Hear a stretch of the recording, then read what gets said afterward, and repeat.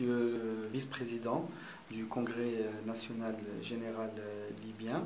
euh, qui rend une visite au Maroc à la suite d'une invitation que je lui ai adressée. Il se rend au Maroc à la tête d'une grande délégation de députés de son congrès et euh, nous avons évoqué plusieurs sujets d'intérêt commun, notamment le développement de la coopération entre les deux institutions représentatives. Euh, et nous allons instituer des commissions d'amitié entre les deux institutions et ainsi qu'une convention qui va définir les axes de, coopération qui sont orientés autour de l'action des parlements dans le contrôle du gouvernement, dans la diplomatie parlementaire et dans l'activité euh, législative.